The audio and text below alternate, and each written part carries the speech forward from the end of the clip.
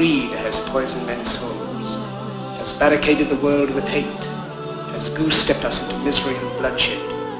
We have developed speed, but we have shut ourselves in. Machinery that gives abundance has left us in want. Our knowledge has made us cynical, our cleverness hard and unkind. We think too much, feel too little. More than machinery, we need humanity. More than cleverness, we need kindness and gentleness. Without these qualities, life will be violent, and all will be lost.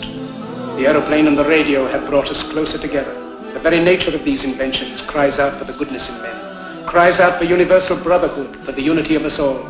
Even now, my voice is reaching millions throughout the world, millions of despairing men, women, and little children, victims of a system that makes men torture and imprison innocent people. To those who can hear me, I say, do not despair.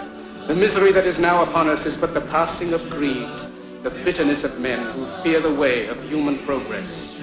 The hate of men will pass, and dictators die, and the power they took from the people will return to the people. And so long as men die, liberty will never perish. عيوني وبسمتي حبك شعاع بموجتي والشعر من حبك يسيل